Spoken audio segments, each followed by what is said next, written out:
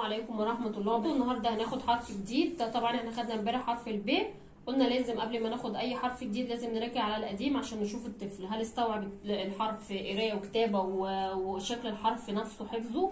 طيب إحنا هنشوف. النهارده هنراجع على الألف والب وهناخد حرف الت طبعا إحنا لازم نراجع على الألف والب الأول. طيب تعالي يا نور. ده حرف إيه ألف شاطرة وده حرف ب. إيه؟ ب شاطرة طيب إحنا لازم نراجع عليه برضو كتابة. اكتبي يلا الألف هنا تحتيه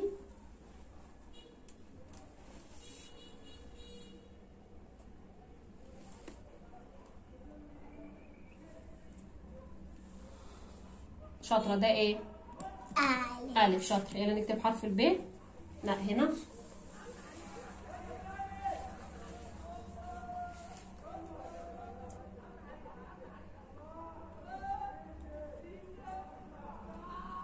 طيب شاطرة. ده إيه؟ ب. وده؟ آ. طيب هاتي القلم. هناخد النهارده بقى حرف جديد اللي هو حرف الت. دلوقتي هي حفظته قراية وكتاب.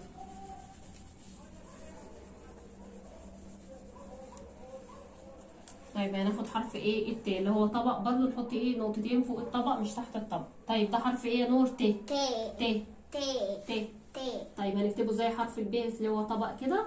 ونحط نقطتين يلا نكتب هنا زي ماما. نكتب هنا حرف إيه الت.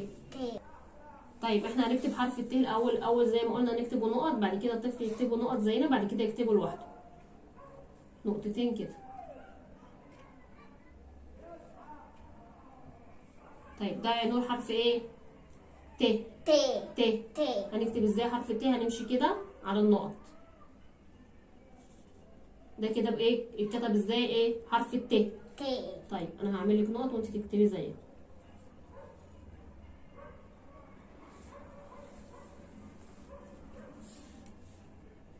يلا اكتبي هنا على النقط.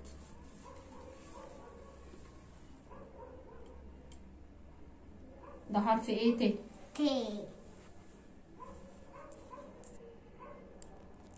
أيوه حطي على النقط تاني راجعي على النقط تاني. بصي تحطي برضو إيه؟ راجعي على النقط اللي انت إيه تحطي إيدك عليها.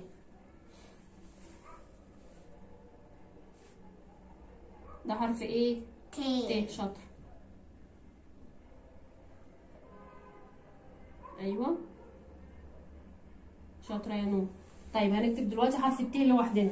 بصي أنا هكتبه دلوقتي إيه؟ لوحدي أهو من غير نقط. هعمل كده. طبق. وجواه نقطتين. يلا هنا اكتبي هنا زيي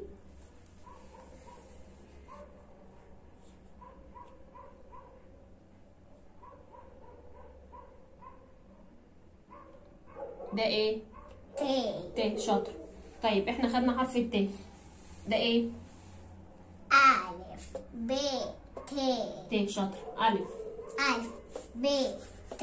طيب إحنا دلوقتي خدنا إيه؟ زي ما قلنا خدنا ألف وب وت هنراجع برضو هنكتب في الكراسة. يلا يا نور تعالي راجعي معايا. يلا هنراجع برضو بالكراسة زي ما إحنا قلنا بنجيب كراسات من المكتبة برضو عشان الطفل يعرف الحرف والحيوان مش هنكتبه طبعا الحيوان على السبورة. حروف ده حرف إيه؟ ألف أسد شاطر.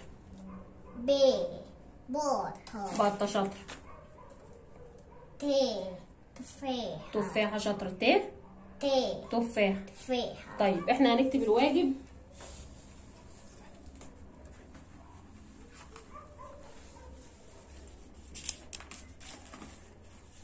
هنكتب الواجب اللي إحنا قلنا عليه في الكراسة هيتكتب طبعا والطفل بيكتب وراه.